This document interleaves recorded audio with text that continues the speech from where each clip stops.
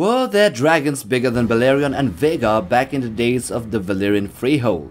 And also were there dragons that still survived in the doom of Valyria but didn't come out to the outside world? So let's dig deep into this and discuss these topics in detail.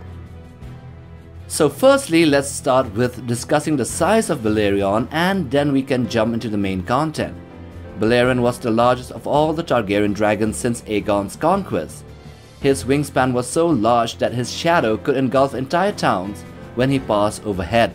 His jaws were large enough to swallow an auroch whole, or even a mammoth, judging by the size of the skull at the Red Keep and him being a bit larger than Vhagar, who we have assessed to be around 240 to 250 feet long. We can say that Balerion was around 300 feet or 90 meters long, with a wingspan of 500 to 600 feet or 150 to 180 meters across. So Balerion was the only family dragon still alive at the time of the conquest who was born before the Doom, and his birth in a more magical place and time may have contributed to his size. Even he had limitations, having spent the majority of his life in a post-Doom environment with no magical intervention.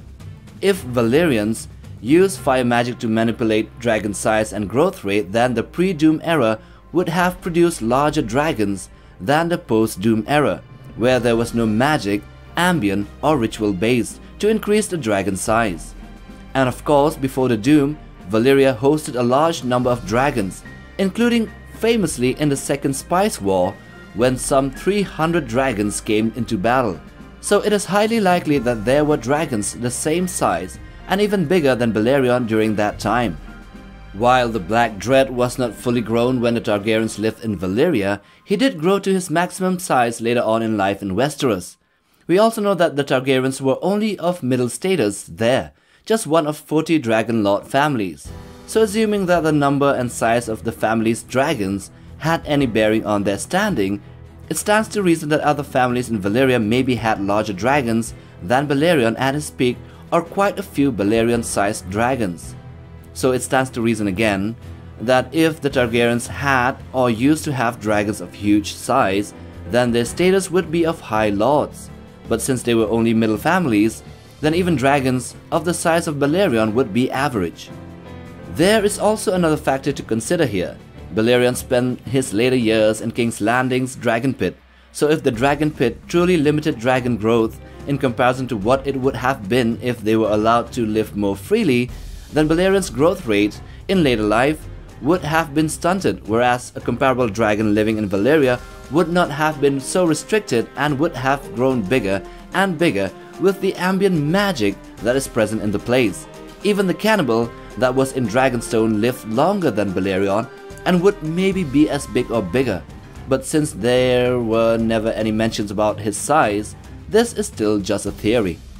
Of all the Targaryen dragons that we know, Balerion was the only one who was hatched before the Targaryens left Valyria, and he lived to be around 200 years old.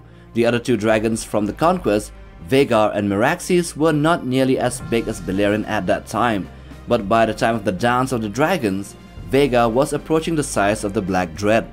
But the strange thing is that the dragons that were born in Westeros always became smaller in size every successive generation until blood magic was performed again to give birth to Dany's dragons, Drogon, Rhaegal, and Viserion, which would have grown to quite an astounding size given their fast growth rate but were killed at a young age. But Drogon is still alive and might still be growing, growing to be as big as the Black Dread, given his fast growth rate.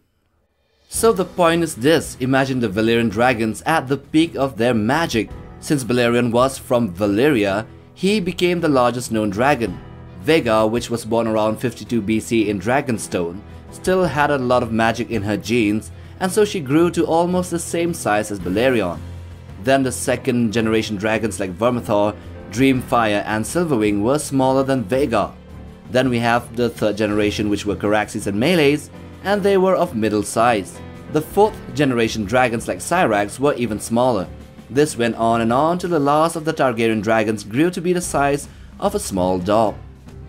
Yet there is another story of Balerion flying off to Valyria with Aerea Targaryen, one of his riders. What was told is that the Doom killed off all the Valyrian dragons other than the Targaryens. but there is a possibility that there are other dragons who survived without anyone knowing, some of which might have been elsewhere then returned to Valyria on instinct just as Balerion apparently did, and lived there without anyone on the outside world knowing. Since Balerion was the biggest known dragon at that time and something wounded him to the point of him not returning to Valyria again, then there might be something in Valyria that was bigger and badder than a Black Dread. Maybe a larger, meaner Valyrian dragon had survived the Doom and gone back to Valyria and had met and fought Balerion there. But that doesn't explain what happened to Aerea, which kinda looked like radiation burns. The Doom was some sort of magical experiment that went horribly wrong, and in that case the Valyrians were probably in the middle of something and whatever they were doing were uh, causing the Doom to hit it. And those monstrous things that were the result might have caused the Doom anyway. The conclusion is this that there must have been dragons bigger than Balerion in the past owned by more powerful Valyrian dragon lords, but as to whether there were still dragons in Valyria, that is highly doubtful in the least. So that's what we have on this topic. I hope you have enjoyed watching this video. Do hit the like button for support and subscribe, but most of all, smash that bell icon for regular updates on new videos right here on this channel. Till the next one, take care fam.